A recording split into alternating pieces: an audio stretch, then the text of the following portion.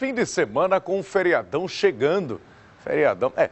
E muita gente decide aproveitar a folga na praia. Para quem pode, né, gente? Mas nesse sábado, quem for à praia de Pajuçara vai ter a oportunidade de ajudar na preservação do meio ambiente. Vamos saber que ação é essa com o repórter Marco Aurélio Melo, que está num paraíso. Que visual bonito, hein, rapaz? Que mobilização é essa, hein, Aurélio? Bom dia.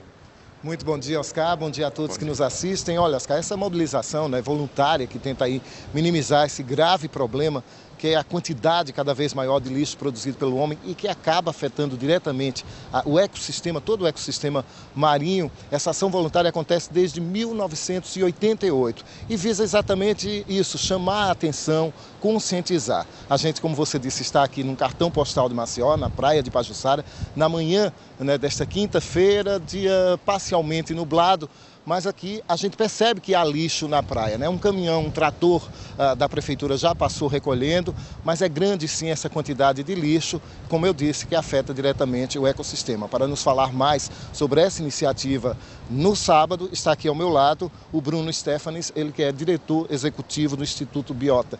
Bom dia, Bruno. Uh, quais os, os uh, digamos assim, prejuízos desse lixo produzido pelo homem para o ecossistema marinho? Bom dia, bom dia a todos. Então, o prejuízo é imenso, né? A gente sabe que o, o lixo hoje em dia é o maior gargalo de, de, de, todas as cidades e a gente, como trabalha diretamente na praia, com o ecossistema costeiro, a gente tem notado um, um acrescente nessa, nessa, nessa, nessa problemática e isso está interferindo diretamente na vida marinha. Direcionado isso à tartaruga, está causando muita morte de tartaruga aqui na capital.